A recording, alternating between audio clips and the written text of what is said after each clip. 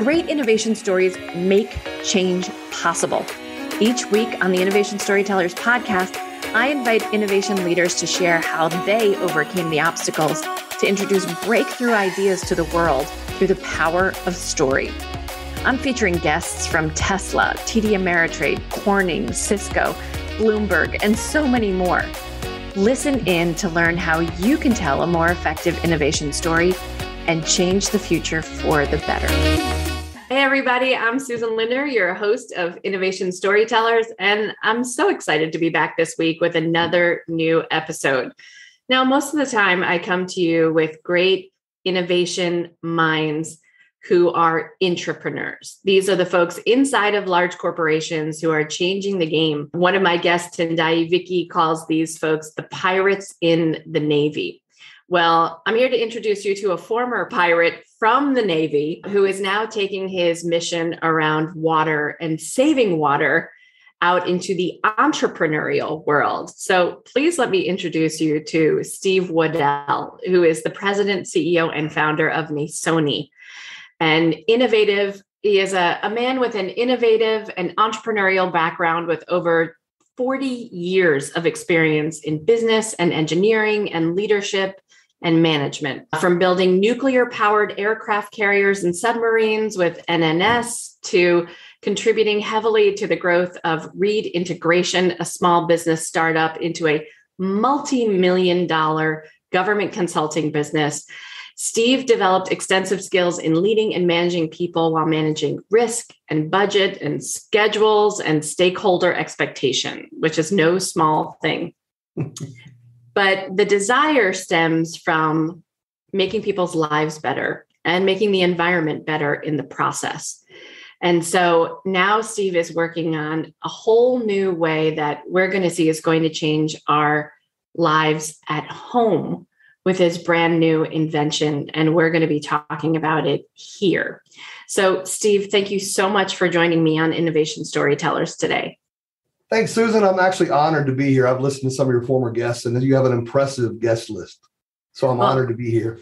Thank you. We're honored to have you. So, Steve, the first question I ask all of my guests is no one gets to become an innovator by graduating from college, by figuring out their first job, right? We come to this path often in a very circuitous way. So tell us, how did you get to this point of being a founder of Nasoni, one of the most innovative water faucets in the world? You know, I, I, for me, I guess it comes natural. I've always looked for a way to solve problems. I feel hmm. like I'm a problem solver. As are um, most engineers, right? This is what you do. Yeah, I mean, I, I, do have an engineering background, but I also have a business background. And, and I started out at Newport News Shipbuilding in, in 1982 as an apprentice. And, and I went through the apprentice school where I worked seven years on the waterfront with my hands. And I learned a lot about how things go together. Then I spent 12 years in engineering, including as a refueling engineer. I had reactor plant 2A for the refueling of the USS Enterprise. A refueling most- engineer. So you're the person who figures out how aircraft carriers are refueled at sea? No, it's already figured out. What we had to do oh. was do the actual refueling of the reactor plant. So I led the hourly employees during day shift in their efforts to remove the old fuel, and then uh, we go to put the new fuel back in. Wow. So that was during its midlife. An aircraft carrier generally runs for 25 years on its fuel, and then it needs to be refueled. And the uniqueness about the Enterprise, it has eight reactors. It's the only aircraft carrier with eight. All the other carriers in Nimitz class has two. So it was a, it was the most major nuclear refueling ever undertaken. Wow. And the, the qualifications just to get certified as a shift refueling engineer, you had to go through months and months of training in classroom. And then you take a, it was a nine and a half hour written exam. I wrote 39 oh pages gosh. in my answers. And then you had to sit in a two hour oral board where you had six people in front of you and a camera and you know those little desks you sit at in classroom where they have a little uh, table on them? You're sure. at one little desk by yourself, and it's intimidating, right? They want to do that. And you have Bettis Regional Management Office, Naval Reactors, Supervisor of Shipbuilding, RadCon, the Chief Refueling Engineer, all these people sitting there watching you. And then for two hours, they grill you and they'll say, This such and such situation occurs. What are your actions? What do you do? And, and they actually want you to fail because if you want you to crack, they want you to do it there, not on the job. So it was probably the most grueling training I've ever undertaken. Wow.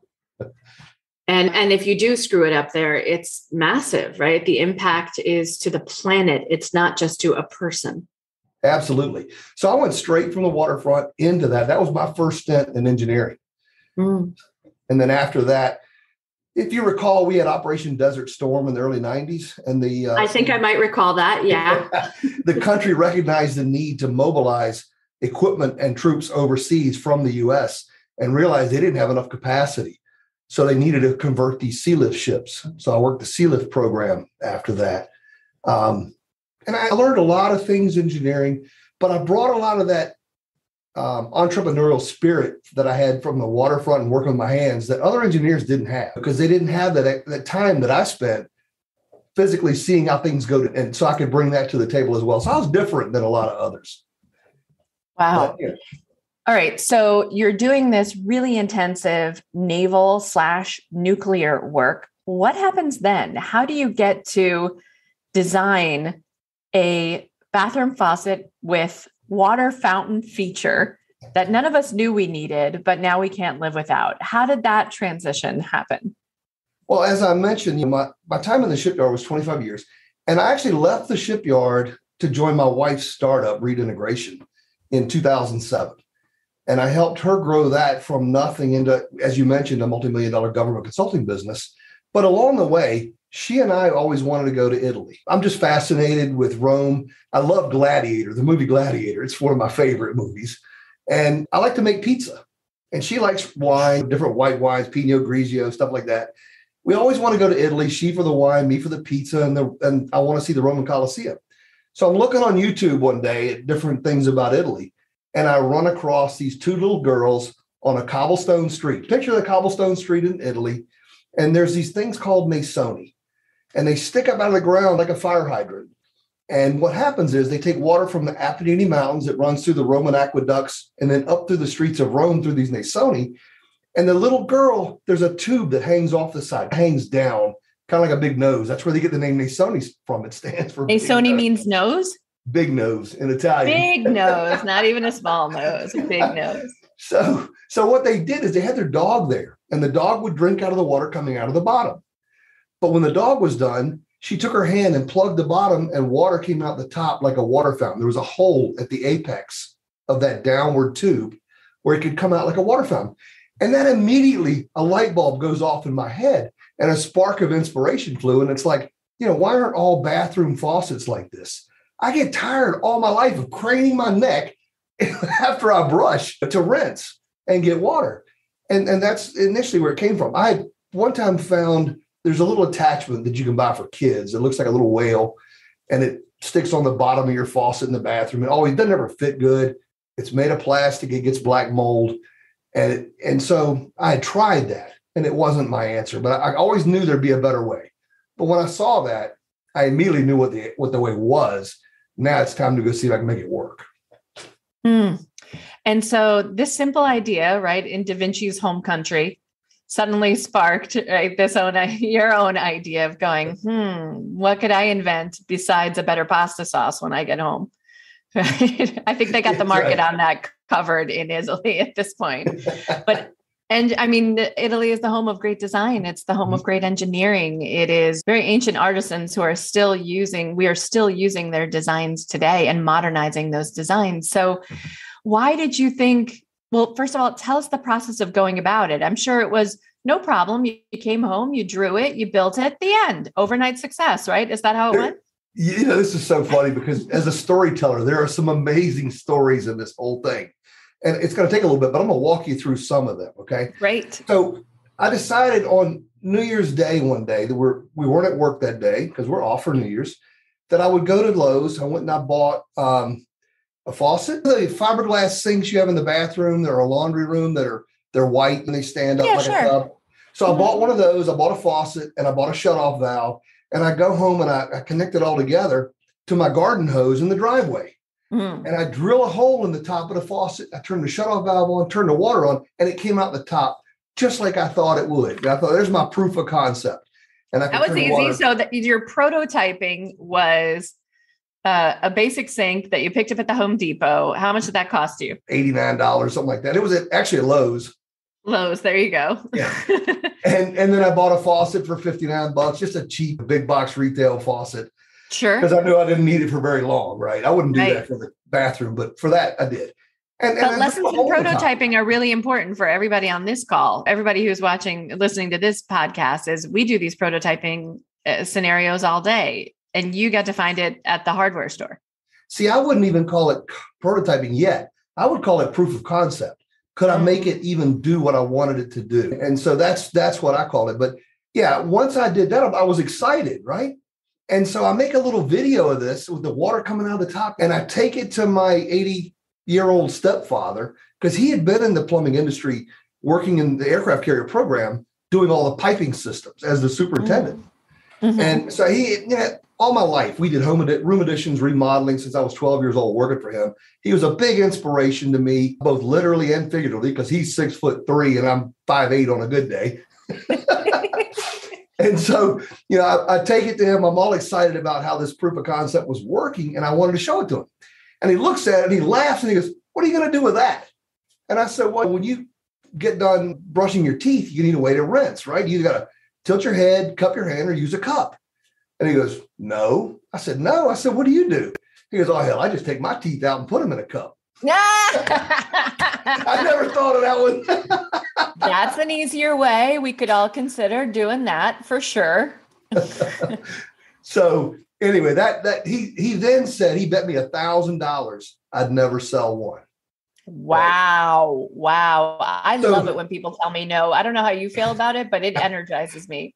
It's exactly right. That's what it did for me. Now I'm really out to go make it happen. Right. So then it becomes okay, how do I? I need to come up with an engineer design, right? And of course, I knew people at the shipyard that could do this, but they didn't have the tools at home. They didn't have the software tools. So I reached out to a local university, Old Dominion University, and, and the engineering guy that I knew there that ran engineering. And I said, Hey, Gates, could you uh, help us out? Modeling and simulation, in fact, is what he did. And, and he got back to me, he said, This is better suited to mechanical put me over to them. And then I never heard from them. And I thought, okay, that's not my answer either. I thought it'd be a student project. So then I turned to something I had heard about called Elance. Elance. yeah. I found a freelancer in Thailand that had CAD modeling, fluid dynamics, and all the things I needed. But he's from the US, but he's living in Thailand. And I hired him. And we actually developed some really cool new designs that we could make work. And he showed me the fluid computations and things of that nature. And so now, not knowing how this process should work, my next thought is, oh, I got to protect it, right? That's what everybody thinks. That your next step is, I've got this cool idea. I now have a design. I got to protect it. So then I go to hire an attorney, and I couldn't find one locally that didn't want thousands of dollars. right. And I feel like, okay, what, what can I do about this? So I went back to Elance, and I found an attorney in India that was about one fifth of the cost of what would be locally. And I hired that attorney because he worked with the US Patent Office. So we applied for both a utility patent and a design patent. Now, I didn't, I was learning the difference between design and utility because I'd never done any patents before, but it just felt right at the time. And so the cool thing was we applied for those, and within one year, the design patent was approved. Now, did it matter? No. The design patent's worthless, right? Because make one slight change and your design patent is no longer relevant. Mm. But where it was valuable was now I needed funds to help me develop a prototype, as we talked about, right? So I started entering startup competitions. And the first one I entered was put on by Cox Media and Inc. Magazine in Virginia Beach. And the prize was 10000 in cash and prizes for the judge's favorite and $250 American Express gift card for the audience favorite. So they had two different prizes they they down selected all the entrants down to the top five. I was picked as one of the top five. I had no prototype, right? so I go to the event. We get a table that we could set up to tell people about what we're doing before they went in. And I take my computer and I put my engineering CAD model on my iMac, 27 inch iMac, and I have it rotating and moving and doing. And I got my, I had just gotten my design patent the week before. So it's laying on the table. and I had run some some numbers on how much money it would save and so on. So we get in and I give my two minute pitch. You have two minutes, you can pitch the judges. And, and then they ask me some questions. Long story short, won the judge's favorite. So I won 10,000 in cash and prizes. And not only that, I won the audience favorite too. So I swept wow. the competition. and Fantastic. that gave me the money I needed to go build the first prototype. I used $7,500 to go build the first prototype. And then also, uh, my wife said, Now, look, you need to have that money go into a business account so that it doesn't hit our personal tax. She's the one started her company and she knows those rules stuff because yeah, I was in Newport shipbuilding. I didn't know small business like she did. So that's what we did. That's when we founded the company was July 2015, July 1st. And I put that money into that account. And, and then I built the first prototype. I had a company build it for me that does prototyping. And it was like I, I'd read about this company from the Mom Inventor's Handbook. Tamara Monosoff, I think is her name. Hmm. And she had mentioned, I was reading every invention book I could find, trying to learn everything I could, right? Because I'm all new to this. I'd been in big business, Fortune 500 for 25 years, and then my wife's company as a startup for seven years, but nothing on how to bring a product to market. So I'm, I'm still feeling my way and I'm still entering competitions. I win another one for $750 at Old Dominion University. And it's called 757 Pitch, which also gave me $20,000 in consulting help from the wow. organization. All in all, I won over $80,000 in, in cash and prizes. How fantastic. so took, you tried everything out with your own little mini shark tank to get started, right? I did, but I took that prototype that I had made for $7,500 and I videoed that. And there was a new TV show coming out called Steve Harvey's Funderdome. Did you ever hear that? No. Yeah, it was Steve Harvey's Funderdome, 2017 time frame. And I was actually, I took the video, I applied with it, went back and forth a number of times with what they asked for. And I was actually picked to fly to Hollywood, CBS television studios. And I competed on stage against another entrepreneur who invented a mask to relieve sinus pressure that was a heated mask. And he was at one podium, I was at the other, Steve Harvey in the middle. He visited each of us and we had to get the audience vote. Long story short, I won 50,000 in that. And you don't get paid right after the show. They didn't pay until a year later. So mm-hmm. I go to the bank and I say, Hey, I, I won this competition. I'm going to get the money. I can prove it. Can you give me a loan? And they they said, Well, there's a lot of paperwork to go through and yada, yada, yada. And as I talked to this VP that I knew, I said, Well, what about a credit card? He goes, Oh, yeah, we can do that really easy. He gave me a $50,000 credit card. I charged everything that whole year in developing the product and then paid it off when that credit card, when that 50,000 came in in cash. Okay. So these are all the good sides of the equation, right? We're winning competitions, we're getting some publicity, we're getting seen. Hell, we even got funding from a bank. But things aren't all rosy in the land of entrepreneurship. What were some of the challenges that you faced along the way? Some of the the mess ups, the God, I wish I knew now moments that you had in as you got to the creation of of the faucet. That, that's a great question because the very next thing is I think I'm winning these competitions. I'm going to go hit all of them, right? So I sure. applied for I applied for another one called Entrepreneur Elevator Pitch. But oh. this one, ah. you had to pay your own way to California, pay your own hotel, and and I did. And you get 60 seconds on an elevator with a camera on just you, and the judges are all at the top. And if they like your pitch on the elevator, they open the door and let you finish it. If they don't like it, they send you back down. Right. so, so I'm like, all right, well, how do I how do I make sure I win? Right. So this is a reality show. And I thought, let me make it intriguing. Now I, I had actually developed with that fifty thousand dollars our real first product. So I have something really cool and I'm excited about it. And we took it to the kitchen and bath industry show and we won the audience, the people's favorite. We didn't win the judge's favorite because that actually went to the big name company that sponsors the show. they won. But, Surprise. But, right. but we won the people's favorite, right? People's Choice yes. Award. And so I go to this elevator pitch and I, I take this in a bag and I also have it on stands, like the one there. And I go to Walmart, I buy three shelves on, on wheels, and I put each of those on stands, and I cover the whole thing up with a black tablecloth. And I, I'm standing on the elevator like that, not showing the product. And I tell the judges, we reinvented the faucet. It's amazing. We just won the Best of KBIS People's Choice Award. We're patented. We're, we're at the goal line. We're ready to cross it. And with your help, we're going to get there and, and, reinvent the whole bathroom market, right? And next thing I'm going back down. What happened? Why didn't they open the door? Right. so you don't know why. And you get sent home. Well, two weeks later, it aired on TV, not TV, on YouTube. It aired on YouTube. And so I see what happens is after I pitch, there were two women judges and two male judges. And one of the ladies says, Oh, this world always leaves you wanting more. I want to know what it looks like. I want to know what it is. And then the other guy goes, Yeah, that's true. He says, But uh, he didn't tell us what he wanted and uh, didn't show us the product. So I say, vote him, let him go. And the other one goes, Yeah, I agree. Let him go. Well, I was going to tell him what I wanted and all that after they opened the doors. That was the rest of the pitch. so, so there's your downside, right?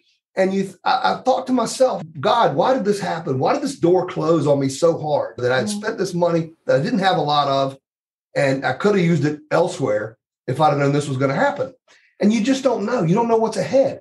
Well, check this out. There's a lady from the Richmond District SBA that I'd worked with with my wife's company in the past. She happened to see that on YouTube. Like, How the heck do you even know about it? Well, she saw it. She calls a friend of hers she rode the school bus with 50 years ago.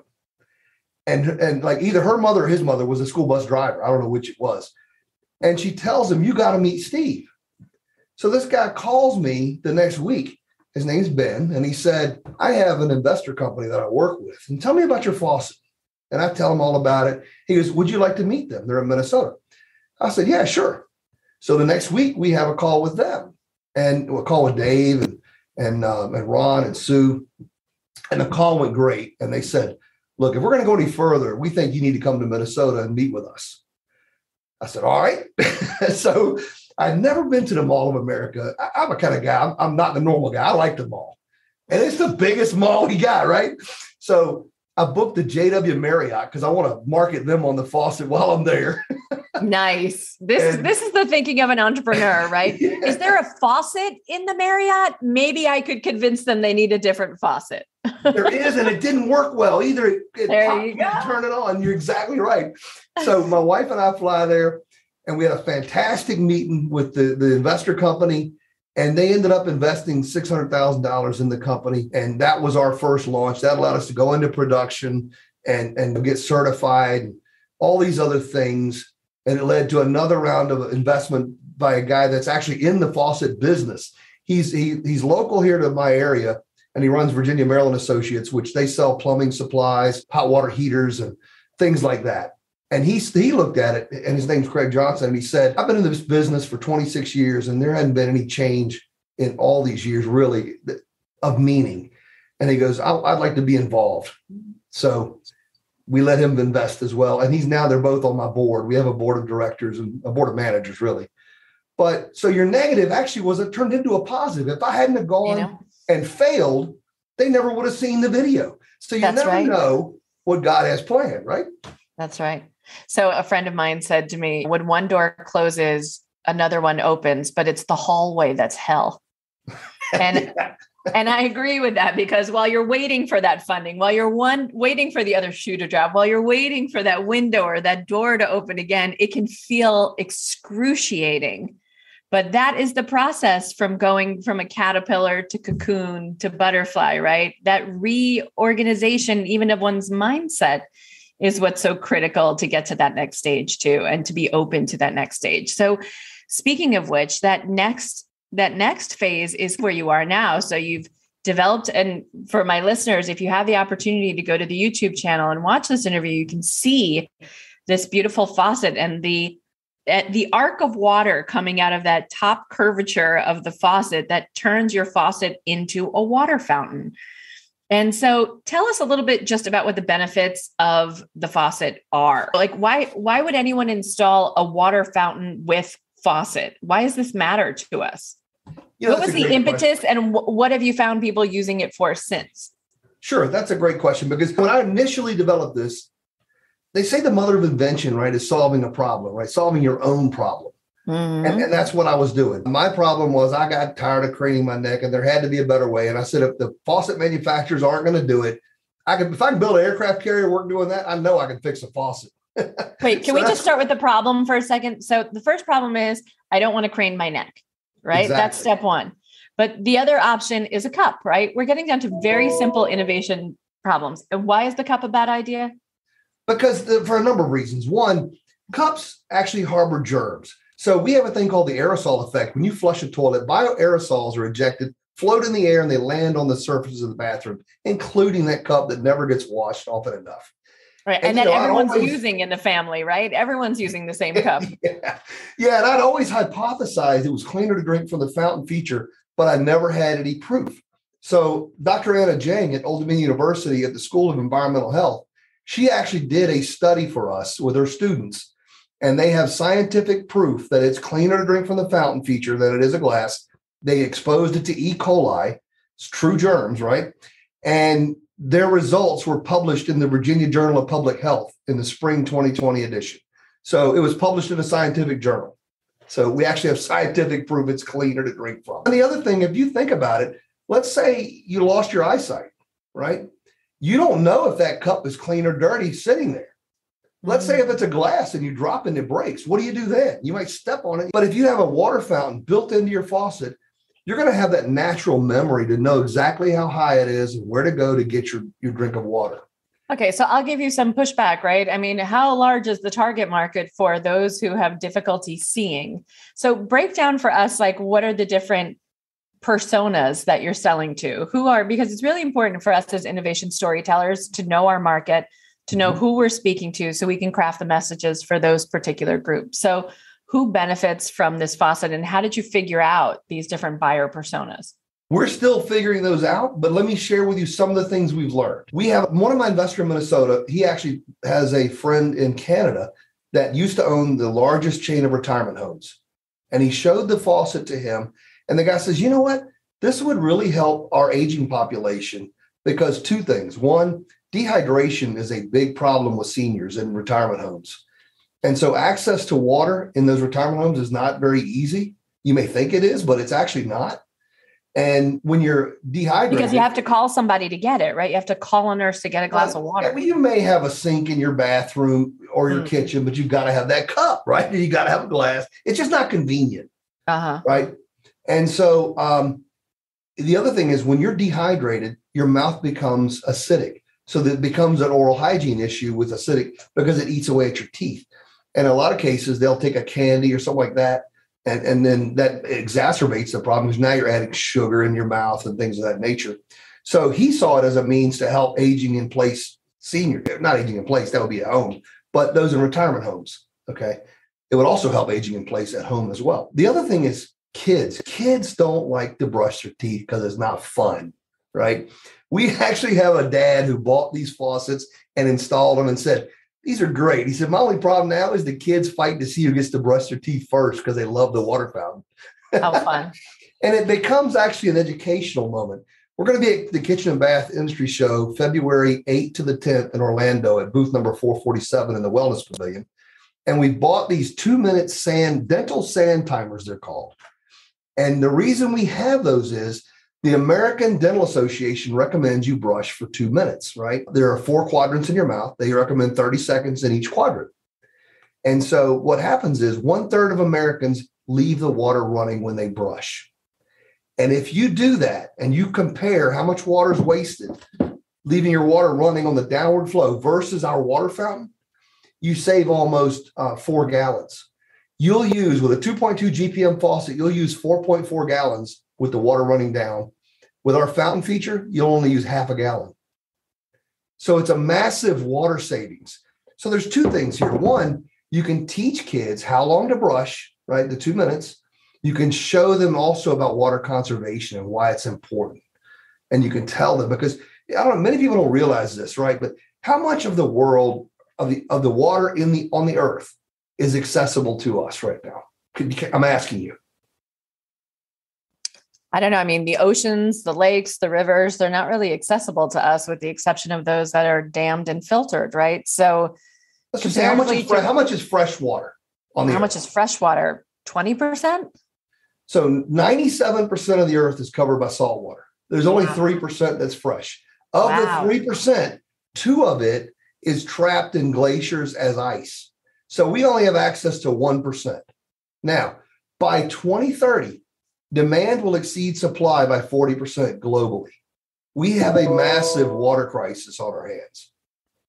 So, Nasoni, with our fountain feature, you're everything you do with this, you save water every time you use the fountain feature versus the downward spout, and you're making your life easier. So, to get back to your point about use cases and personas, my wife every night before bed used to take and cup her hands and splash her face to get her facial cleanser off. Now she turns on a fountain, a warm, gentle fountain stream, and dips her face into it. Now she ain't even thinking about really saving water, but she's doing that every time. She's not making a mess because she's not splashing the counter, and it's uh, just more functional. And I got another guy who told me that every spring and fall he gets seasonal allergies, and he has to flush his eyes. Well, we have a great water filter that we recommend. It's uh, we developed it for under the counter in the bathroom. Now you can have clean filtered water to clean your eyes with, just with a perfect fountain stream. And the unique thing about this that I never thought about originally, if you think of a water fountain, water fountains go left to right or right to left, right? You ever drank from one that came toward you? You haven't.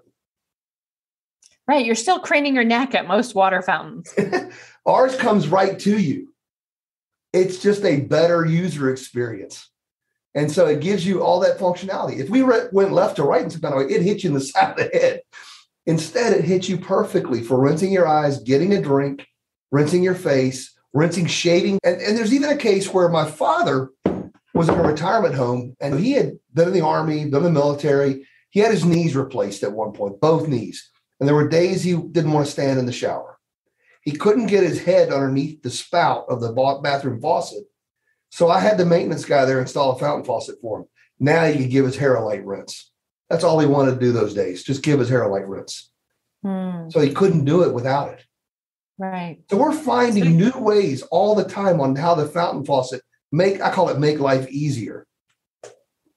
and is that a result of really doing this kind of user testing, user experience testing? So many of our listeners are in the product management, user experience, customer experience space that you're collecting this as you're developing the product and as you go on to continue to engineer the product, right? Because you had you had version one and you're now on to version two of the product. Is that right? So, well, so let me give you an additional backstory. Jeff Johnson's a good, great friend of mine. He runs Tech Center in Newport News. That's a $450 million development between Virginia Tech and WM Jordan. He runs the whole place. Hmm. He's been an advisor to me since I first got in those competitions in 2015. He would tell me things like, we recommend, I recommend three $20,000 focus groups. Well, I didn't have 60 grand to go run focus groups. You are like, I recommend them too. If you wouldn't mind funding them, that would be great. right. So that was my challenge. Focus groups are great, but can you afford them? How can you do it? You can't. Well, not when you're a startup bootstrapping like myself. Right. So no, we didn't come about it the way you would in a big company, like a lot of your other people you interview. They have an R&D department. They have an R&D budget. They can go do these things. So mine was more try to interview people, try to get it in use in some places, test it out, get the feedback where you can. And so we've been learning. Now, our, our, one of our biggest challenges was we launched right at the start of COVID. Who knew that was coming? I developed the risk management process for the aircraft carrier program at Newport News Shipbuilding. And Defense System Management College recognized that as the best industry practice. So Donald Rumsfeld, I don't know if you remember him. Sure. Right? He had to, he said there are three things about risk. There are known knowns, there are known unknowns, and there are unknown unknowns. You remember that? We we all follow that in innovation. We we try to answer those questions on a regular basis. Absolutely. Exactly. So I would say COVID is a unknown unknown. And maybe you could maybe make a case for known unknown. It could happen, but you don't know what the outcome would be. Mm. But I would say we had no idea in launching our product that we would be involved in a hundred year pandemic when we launched. You couldn't plan for that. Nope. So we had this inventory. We selected four key states. We know California has a water problem. So we selected a manufacturer up in California. We selected one in Texas because areas of Texas have a water problem. We have one in Florida because water, even they got a lot of water, but there's a lot of salt water. I mean, Tampa Bay spent $10 million in desalination plants. And then we selected Virginia and we shipped them pallets of faucets. And then COVID hit and they couldn't meet with anybody to sell them. They couldn't market to anybody. But Steve, help explain to our audience why this device, which seems to offer two outputs of water, is actually water saving. Because if you're just listening to the podcast, you probably can't see how a faucet with a water fountain coming out of it would actually save you water. Beautiful question. So there are basically three types of faucets in America, in the US. The natural normal bathroom faucets have what's called 2.2 gallons per minute. So you think about the water coming down when you turn it on, that's at a rate of 2.2 GPM. And think about that now. That's 2.2 gallons. That's like two gallons of milk dumping at the same time. That's a lot, a lot of flow. So the Environmental Protection Agency came out with what they call WaterSense oh, more than 10 years ago, and they reduced that flow rate to 1.5 GPM. Make sense? So you're yeah. still though that's one and a half you know gallons of milk being dumped at the same time per minute. And then so California, because they're under this higher drought than anywhere else in the country, they enacted what's called CEC, California Energy Commission compliant, and they reduced the rate to 1.2. Now, in some commercial hotels, you'll see the water's really poorly flowing. That's a 0.35 GPM. And people have a bad experience. People complain because they can't get all the soap off their hands, things like that. So that's why the whole industry has not gone that route for everybody. Mm. All right. Now, conversely, when I take that, and I'll show it on here, when I shut off that downward flow and we turn this little lever and send it out the top, there's nothing coming out the bottom anymore. We worked with a company called Neoperl. They are the largest manufacturer of strainers in the world. And we work directly with them. Strainers my, my are thinking, the faucet specifically. Yes. And, and my thinking was I'm, I'm used to building aircraft carriers, right? So I wanted to build a faucet built to last. All right. And so I wanted to work with the best. So anyway, we came up with a flow regulator that's commercial off the shelf, COTS as we call it, that has a flow rate of only 0.26 gallons per minute. And what that does is it causes the water to create the perfect water fountain and land it in the center of your sink without overshooting it. Mm-hmm. It's a mm. consistent, no matter what the water pressure coming in is, it keeps a consistent, about five inch height water fountain. But that flow rate is cut from either 2.2, 1.5, or 1.2 down to only 0.26. So you're saving as much as 88% water every minute you use this faucet, the fountain feature. And we actually, because it's so massive, we built a water saving calculator on our website. And if you go to our website, you'll find our water saving calculator. You can plug in your numbers for your city, how much your water costs. Now, there are typically three things water rates you'll be billed for the water rate, the sewage rate, right? And, and there's one other. So you get billed on all three of those. At least we are here in Suffolk, Virginia. You can enter your own rates for your own city, and it'll show you how much how much you could save annually in terms of the sewer rate, the water rate, all of that, but also greenhouse gas. Because when we don't have to manufacture and produce all this water, the water we save, and by not producing it, we benefit in not having as much greenhouse gas created. It's funny because I don't think anybody thinks about how as humans we manufacture water. Right. But that is the process, right? It takes energy to harvest water, filter water, clean that water, and then deliver water. It's not See, like it just point, magically though, appears. Clean. That's the, one of the key words is clean. Mm. And then there's still a problem with that. I'll, I'll give you an example. And you remember Flint, Michigan, and they found lead in the water? Sure. There's another city in, in Michigan now that has found lead in their water. They're not the only ones. Right. So Newark, New aging. Jersey is experiencing the same thing, and they're doing a whole remediation now. It's it's agony. Right, and we have an aging infrastructure in the U.S. with a lot of our waterway water lines. And think how many times that water line is cut into when they dig new roads and new sewer systems and, and add on to these cities. So every time you do that and you disrupt that line that leads water to your house, you're introducing impurities into the mm-hmm. water you drink. And guess what? You're not going to know that because when they test the water, they test it at the reservoir, not as it comes to your house. So we think the best line of defense is to put this under counter water filter right in your bathroom, underneath in the vanity. This is NSF certified to get rid of lead and other nasties, that sort of thing, but leave behind the good minerals that you can use in your water that are good for you. Right. Because we still want the water to be alive. Right. Yeah. So, so yeah. So tell us one more time. I mean, the challenges of not getting a competition are one thing, Steve, but the challenge is scaling, right? Getting to the next stage of development of getting into big box stores or getting even into luxury stores, if that's the case. What's the plan for the product now that you've found your personas? Sounds like you're really still finding your market, but you've developed some some good prospects of where to start what's the next step for scaling? Because for many people, this is that make or break, right? This is the hallway moment. Great question. So when we initially did this, uh, you know, I decided we would come out with a product that I felt was built to last. And so when you look at building a faucet, there are three key things that, that they're made out of. First one is the best faucets are made of solid brass. So we make our faucets out of solid, it weighs six and a half pounds. And the third, second thing is you don't want it to leak. If the faucet leaks, it's not a good faucet. The best valves for faucets are ceramic disc, and that's all we use. We use them both in the handles and the up top.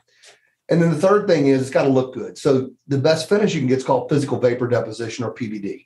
It's a space age process. And that's what we use for this as well. So we use all of that, which also then puts your faucet into a price point that's not big box retail.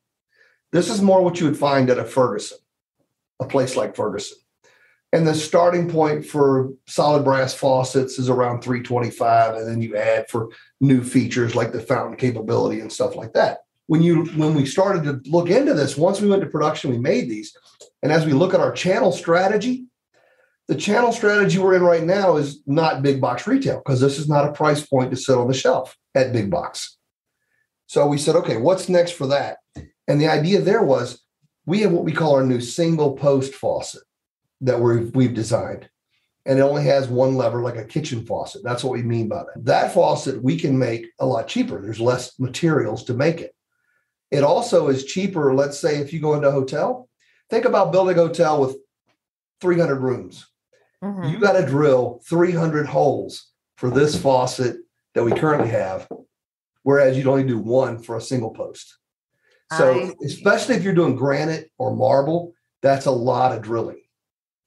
So, what we what we're calling this now, we've labeled this our North Star product. I've coined that term because that's going to get us, we think, into the big box arena.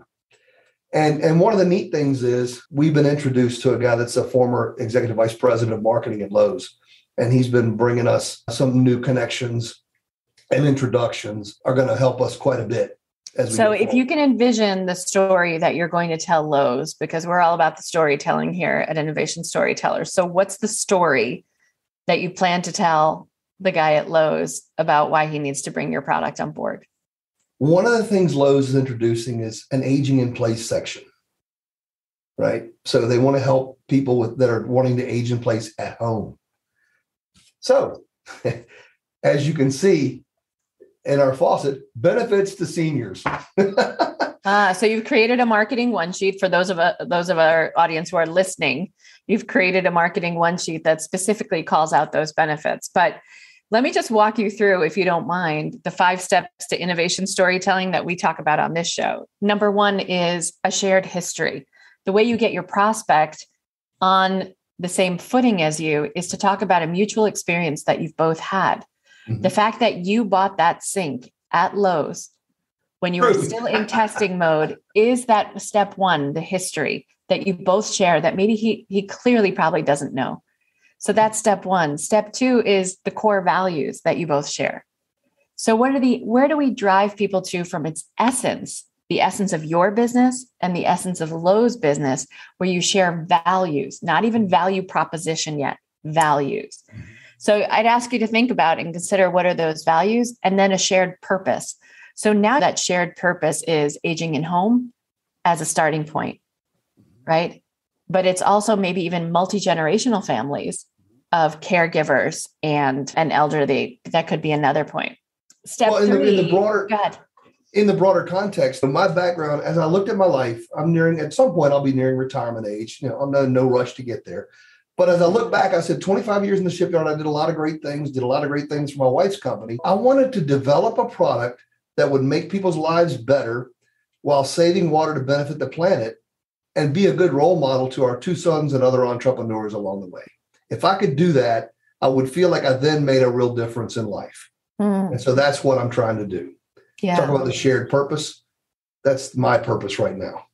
Yeah. So when we make our listener the hero, how you can empower that listener, all the better. So, how you'll make Lowe's the hero rather than you or your family or anything that's coming next is really critical. So, that next phase is what's the message that you'll share? Mm-hmm. And figuring out that message is really important, as well as the next phase, which are what's the viral language that you'll use? What is a phrase or something that you can say about Nasoni that will stick with him so that as soon as he leaves the meeting, he'll be able to share it with other people. Because if it goes off into the air, then the idea is also potentially vanishing. Agreed. And, and so we're still working through that. But one of the ones that I have now that I like to use is save water without trying. You're mm. saving, you're doing it to for its convenience to make your life better, but you're saving water and you're not even trying to do that. So you're doing something good. Save water effortlessly. Yeah, it's great. Yeah, without even trying. And then finally, who are the early adopters? Who are the people, right? And I've seen the beautiful videos on your site of people talking about a million ways of, you know, thinking about using the product that they haven't thought of before. But who are the early adopters who will stand on the mountaintops and sing your name? Who are the missionaries in the mm-hmm. world who will take the message forward? Yeah, we, we have those right now. In fact, everybody that has been using the faucet is a believer now. And then so, the, but one of the guys told me it wasn't something I knew that I needed, but now that I have it, I don't want to live without it. This is exactly this is a conversation I bring it up way too often on the show, but my mom is 94 and when I ask her what is the greatest innovation she's seen over her lifetime, she just tells me dishwasher pods. and I was like, not the dishwasher, right? She goes, No, it always leaves stuff caked on until I got the dishwasher pods. Then life changed and life got better. And so it's those little things that made it better because I was the chief dishwasher when I was a kid. So, well, we were actually developing our R&D pipeline. We're still coming up with new products, and I'm working on a grant with the National Institute of Health right now, and that's to put sensors on our phone so we can help those with spinal cord injury and things of that nature. But mm. I actually shared this with the former COO of Lowe's, and he's retired. And, and he told me, he said, I could actually see my 93 year old mother who deals with arthritis daily benefiting from that. Yeah. You speak about your 94 year old, it, it dawned on me to think about his because same age almost. Right. Okay, so now is the time on on the podcast where I ask you three hot seat questions. Are you ready? Sure. Okay. If you could join any innovation team anywhere in the history of time, right? Throughout history, whose innovation team would you like to join? I, there's people you can think about the past with Steve Jobs and everything, but right now it'd have to be Elon Musk. I am so impressed going to Mars and all the other things he's doing. It would just have to be Elon. and if you're listening, Elon, Elon. I, I want to be with you. If you're out there listening, Elon, we've got new members for your team and they work cheap, just for the record. okay. So um, greatest innovation of all time. What do you think? And you can maybe have one or two. I don't want to limit you, but what do you think sure. some of the greatest innovations of all time? Well, obviously, I'm a big iPhone fan. It'd be easy to say that. But I talked about my wife one time about this, and I said, our, our parents and grandparents all saw things come along in their lifetime, like planes and automobiles, and, and then the radio and TV. I said, I think our biggest innovation so far in our lifetime would probably be the internet and how it's made the world such a smaller place. Because, as an example, in bringing Nasoni to life, I have worked with hundreds of freelancers from more than 35 countries. Wow. And, and in these different startup competitions, some of them are voting online. I've gotten votes from all over the world. My every time I do this, I develop a relationship. I mean, I've got, got people in Pakistan that I'm friends with, that I've made good friendships with. And you yeah. think about it at a global level, how you know we're not necessarily on good terms with each other, at the senator and above level, right? But at the, at the diplomatic and, level, right? Yeah, at our level, I'm loving these people. They're great. Yeah. Entrepreneurs are a whole different nation altogether, right? We're yeah, a whole different exactly. tribe of people. So that's fantastic. And we had the head of open innovation for NASA on the show. and he talked about crowdsourcing the NASA logo for its 50th anniversary. Now, they have a great team of graphic designers inside of NASA, but what they wanted to do is harness the love of space and space travel among the worldwide community. And it wound up being a couple in Australia who designed the logo for the 50th anniversary of one one would see as a really American institution, but the rest of the world feels like they own a piece of NASA too. And well, so if you think about everything about aliens and you think the whole world would come together as one against if there was an invading force. You sure about say. that? I'm not too sure about anything right now, but I hope so. Okay, last question. If there's anything that bothers the heck out of you that you could fix, that you could invent, if you wish, oh, I just wish this innovation would take place, what would it be? It's not really an innovation, but it's something that bothers. We cannot, as entrepreneurs, really have enough voice with our senators and congressmen There have been issues that have gone through that I've dealt with, and I raise the issue to to them. I'll reach out to them, and it really falls on deaf ears. You'll get a letter back; it'll just blow you off. But we need a stronger voice. And I don't know if Josh Malone. Josh invented a bunch of balloons, and he has fought the battle with the U.S. Patent Office for many years because big tech. I think one of the senators just recently said if you were to take the patent examiner's office and flip their upside down, big tech would fall out of their pockets, right? Because they're canceling out patents by all these young startups and other entrepreneurs because they're they're letting big companies like Apple and others who have a big legal team, you know, win the battle and a big bigger lobbying team. So we need a better voice. If, if there was a way to invent a better voice to help us with that, that's what I would like to see fixed. Hmm. Well, it has been an absolute pleasure talking to you. Tell us once again where you're going to be, what booth, and when, in case people want to check out the coolest faucet you can imagine. So, the biggest show in the country, the entire country for kitchen and bath products, is the Kitchen and Bath Industry Show put on by the NKE, BA, National Kitchen and Bath Association. It's coming up February 8th to the 10th in Orlando, Florida. If you want a free exhibit hall pass, now we're talking about a million square foot location facility. Bring two pairs of sneakers. Go ahead. And the and the International Business Show is happening at the same time. And and so anyway, you can go to my website, nasoni.com, and there's actually a KBiz link in the top navigation.